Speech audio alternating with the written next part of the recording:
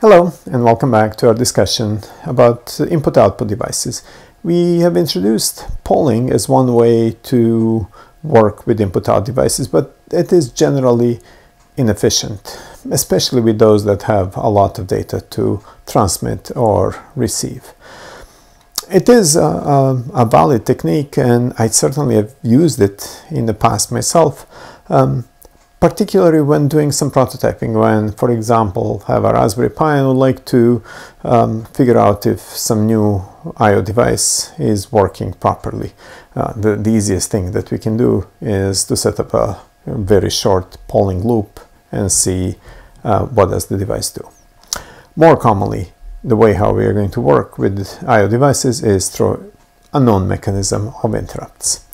So we have already highlighted that polling wastes processor resources. Why? Well, simply because whether the input-output device has something to tell us um, or not, we anyways go to it and check how is it, is it doing. If it has no data for us, we still spend processor cycles to go poll it.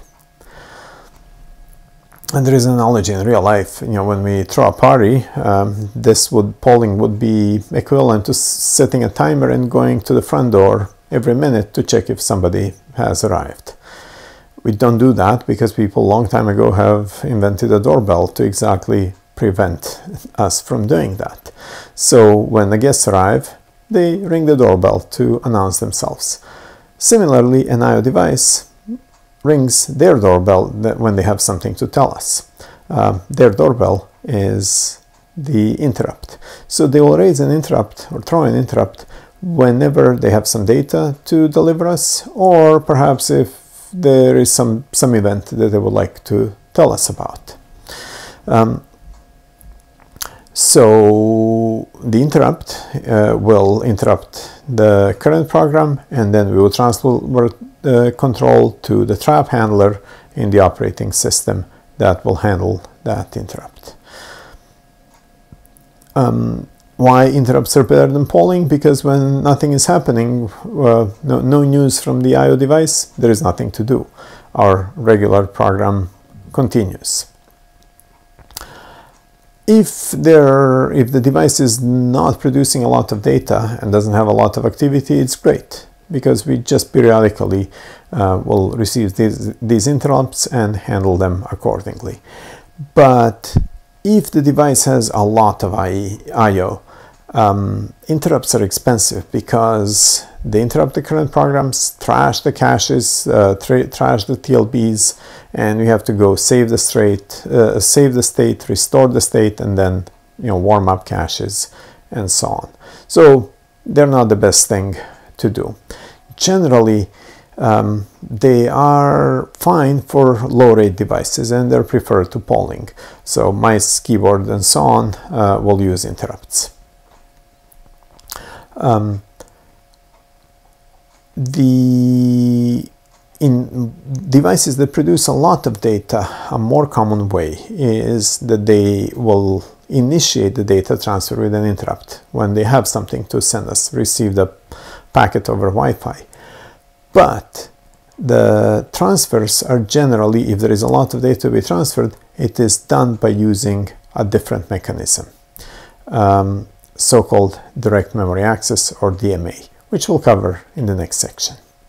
Before we get to the next section, there is an older way of uh, essentially orchestrated polling, which is which was known as programmed I/O um, or PO. This was introduced with older ATA style hard drives. Probably you do not have an ATA style uh, uh, kind of a hard drive where essentially it was the role of a processor that to um, to initiate all the data movement to and from the hard drive. It was done in a more efficient uh, way than just using loads and stores, but loads and stores initiated that. Um, so the CPU was typically spending some number of its cycles uh, to get the data to and uh, uh from the disk and into the main memory. But that was the same CPU that was um, uh, being used to do the main computation, so handling the disk was an overhead. Um, typically, what would go to programmed I/O were about 5% of processor cycles.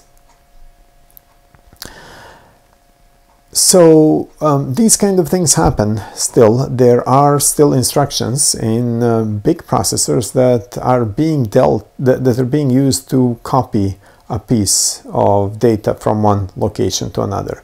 For example, if you look at Google's uh, workload, they report that about 5% of CPU cycles go to instructions like mem copy, which copies from one memory location to another. We are going to see some other methods like the DMA access just after the break and we'll use them whenever we can when we have a lot of data to move around. See you after a quick break.